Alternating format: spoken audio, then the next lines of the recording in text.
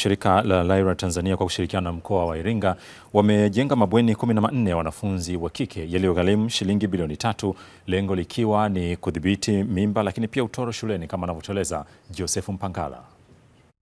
Akiongea katika kukabidhi mabweni hayo, CK Richard ambaye ni mtendaji mkuu wa shirika la RIRA Tanzania anasema mabweni hayo kwa kiasi kikubwa yamepunguza utoro mashuleni pamoja na kuongeza idadi ya ufaulu katika mitihani ya kitaifa kwa wanafunzi mbalimbali. mbali. Mpaka sasa RIRA in Africa imejenga mabweni 14 mm, hapa Iringa ambayo kwa ujumla yote yana thamani ya zaidi ya bilioni 3.3 na mabweni haya kwa kweli yamesaidia sana. Tangu tumeanza kujenga mabweni ya watoto wa kike, yamesaidia kudhibiti changamoto nyingi kama mimba za utotoni, utoro wa shule, um, kufeli kwa mitihani. Tunaona pale twenye, kwenye bweni na computer lab tuna ufaulu unaenda unapanda juu kwa kasi sana. Kwa hiyo tuna una ufaulu wa asilimia 15.9 kwa wanafunzi wetu, na shule zetu pia ambazo tunaziita Lyra Partner Schools zingine zimeweza kufuta division zero kabisa. Nafikiri mnaelewa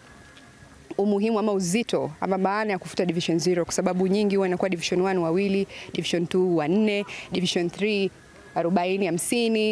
Mwalimu Ernest Lutangilo ni mkuu wa shule ya sekondari Mseke pamoja na baadhi ya wazazi wameeleza adha iliyokuwa ikipatikana kwa wanafunzi ikiwemo upataji wa ujauzito kwa baadhi ya wanafunzi wa kike. Na watoto wawili kwa mwaka huu wamepata ujauzito, mmoja wa kidato cha kwanza, mwingine ni cha nne.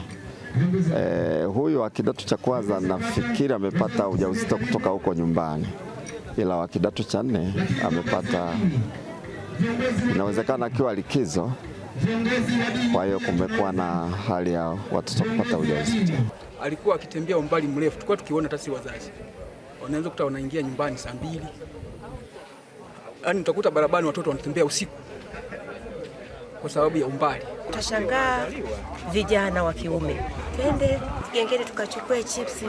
Unajua mtoto hana kipingamizi, akasema hey, leo nimepata mlo, kwa sababu ametelekezwa na wazazi.